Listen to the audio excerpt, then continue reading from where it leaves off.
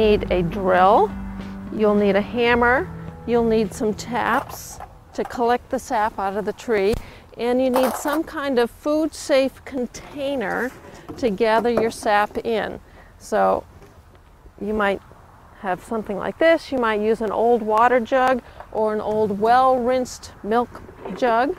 You can get a nice bucket from a maple dealer and that's a handy thing to have too.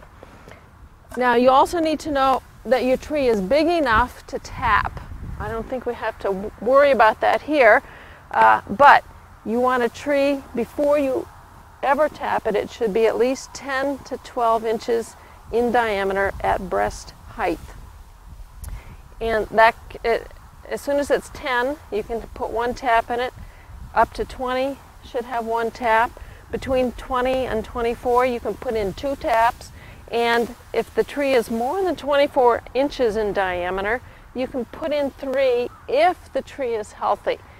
To tap the tree, you need a portable drill and you need a drill bit. You might be tempted to just run into the barn and get a drill that looks like it's the right size.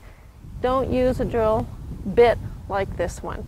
If you wouldn't eat off of this, then you shouldn't use it for making a food product. This is an old rusty drill bit. We're not going to use this one. Okay, so we changed out our drill bits and got rid of that rusty one. We used a nice, clean, sharp, new drill bit.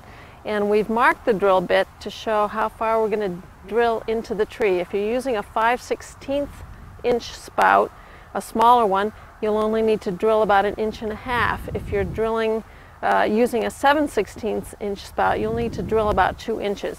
You want to drill at a slight uphill angle so the sap will run out of the tree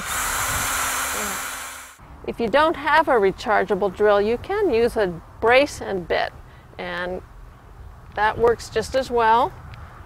Notice that our tap hole that we're drilling here is at least six inches away from any other tap hole side to side, and it's no closer than two feet above or below an old, an older tap hole.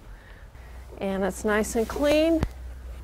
We'll clean it out with a twig to make sure that tap hole is nice and clean. We're not going to blow in it and get any germs in there that will seal the tap hole over.